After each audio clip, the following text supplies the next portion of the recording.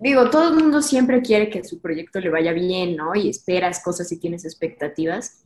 Pero definitivamente cuando salió Control Z1 fue una sorpresa lo, bien que, que, la gente recibió el proyecto, lo mucho que quieren el proyecto, los personajes, a nosotros. Entonces, la verdad es que yo, yo me siento muy afortunada, muy agradecida y muy contenta de seguir contando esta historia.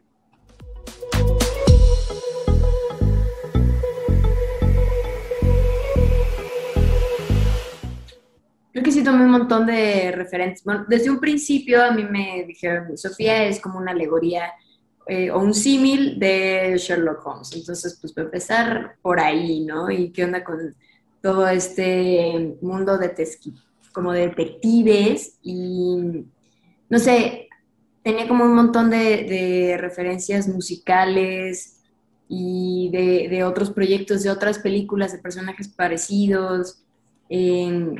Me inspiré muchísimo desde el casting en, canciones de Billie Eilish y luego resulta que en la serie sí salió una canción de Billie Eilish, entonces pues como que quedó muy bien. Pero sí, creo, que con Sofía, sobre todo en lo que más quise enfocarme, fue en todos los temas de salud mental que, ella toca, que, que cuenta su historia y pues contarlos bien, de una forma eh, real, sin, sin censura, cómo son las cosas, cómo se vive de verdad. Eso me importaba mucho.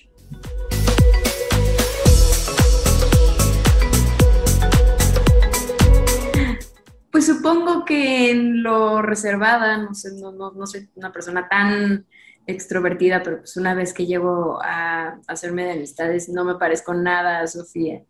Eh, más bien hay cosas que me gustaría robarle a Sofía, no sé, como su inteligencia, la valentía, todas esas cosas. Más bien yo me he robado eso de ella. Es algo que podría pasar y mientras el proyecto tenga vida es algo que, que sucederá, pero tampoco es algo que me molesta. Si fuera un personaje que fuera, no sé, muy banal o lo que sea, supongo que ahí sí diría, bueno, qué flojera, pero si la gente me relaciona con Sofía, no me molesta y eventualmente mi carrera seguirá creciendo y seguiré haciendo otras cosas.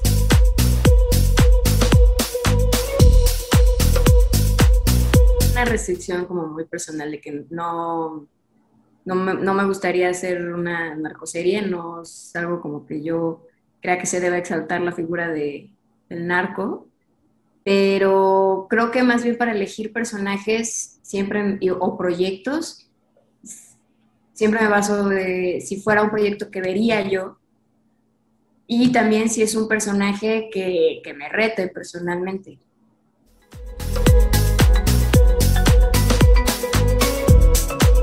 Si les dijera sería un spoiler, pero definitivamente les puedo decir que esta temporada viene mucho más intensa eh, cargada de un montón de cosas y en la primera no nos tomamos, este, más bien tomamos un montón de riesgos, aquí tomamos 10 veces más. Eh, hay escenas de acción súper bien realizadas, escenas de amor, hay de todo, de verdad no se van a poder despegar del, del sillón. Creo que también eso fue todo un reto porque para mí personalmente fue el primer proyecto que hice ya en, pandemia bajo estas condiciones. Y pues sí, todos tuvimos que aprender a trabajar así, con la premisa que lo más importante era la salud de todos y que todos estuviéramos bien y estuviéramos seguros.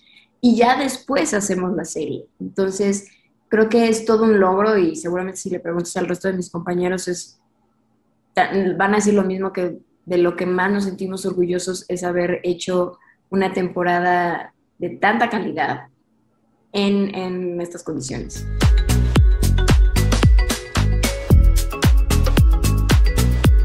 La verdad es que desde la primera temporada hicimos clic todos, como que mm, se armó un grupo muy, muy bonito y tenemos no solo un grupo, tenemos un montón de grupos, se llaman de maneras muy chistosas. Em, y sí, nos vemos como ya sin estar filmando, sin estar en set, también nos reunimos.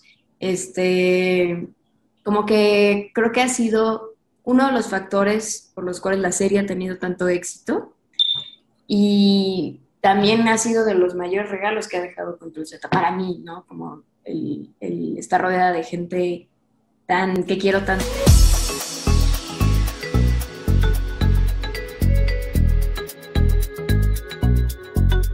Que, que me sacaba de onda y como que no estaba, no había dimensionado que eso podía pasar pero luego entiendes que pues el Internet un poco así funciona, ¿no? Bajo el anonimato de, de cierto nombre de usuario, cierto perfil, te das la libertad de decirle algo a alguien que no lo harías si lo tuvieras de frente.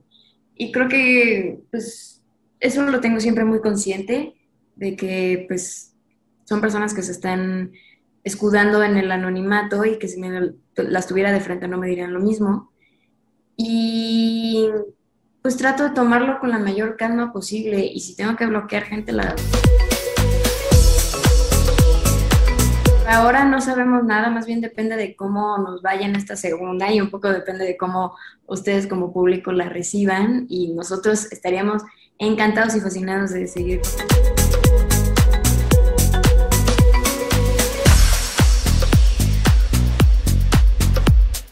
Casi siempre se estrena de que el 4 a las 2 de la mañana.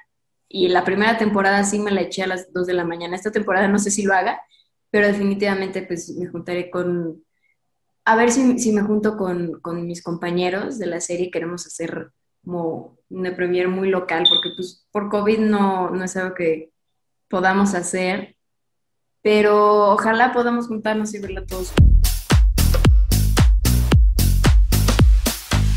Sí, está en Blim, está en la plataforma de Blim TV y la verdad es que es una película que yo adoro. Em, la hicimos con un montón de amor. Eh, es, eso sí, como se puede decir ya gratis, que Ay, este proyecto lo hicimos con mucho amor y con mucho cariño. Este sí, y se ve en pantalla. Es una película que la terminas de ver y es como un apapacho. Es, es toda una experiencia. Visualmente es bellísima eh, comparto pantalla con actorazazazos, este, Martina Tomaro, José Cefami, Irene Azuelas, eh, lo tiene todo la peli. Entonces, si tienen la oportunidad de, de meterse a Blim TV, por favor no se la pierdan, es muy bonito. Hola amigos de I, yo soy Ana Valeria Becerril y los invito a que este 4 de agosto vean Netflix porque se estrena la segunda temporada de Control Z. Va a estar increíble. Y en Instagram a mí me pueden encontrar como Ana Valeria Becerril, en TikTok creo que igual estoy como Ana Valeria Becerril y en Twitter como Ana Valeria-Becerril.